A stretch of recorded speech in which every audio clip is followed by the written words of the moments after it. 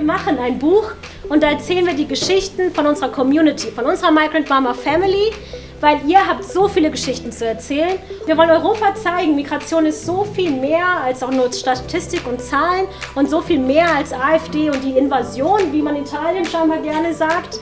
Wir wollen ihnen zeigen, Migration ist Teil von unserer Identität und Migration bereichert uns.